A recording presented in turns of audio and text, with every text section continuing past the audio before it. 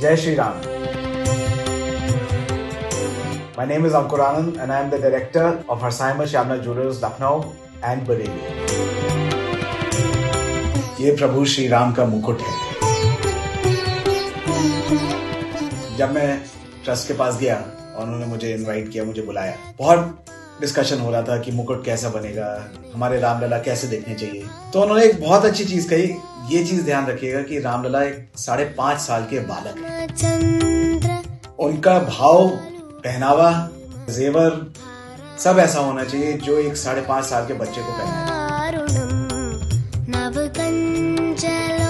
हमें ये भी देखना था कि वो राजघराने से हैं। हमने ये मुकुट डिज़ाइन किया रिसर्च करी रामायण से भी।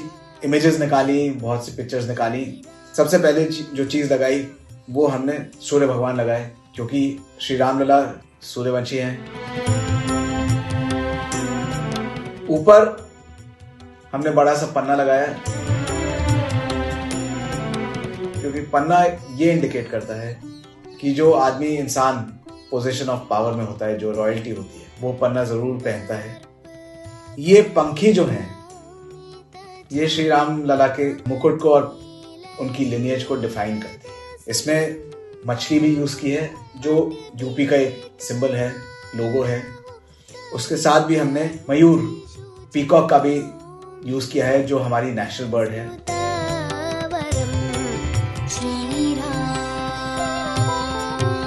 और जो हमेशा रॉयल्टी से एसोसिएटेड है।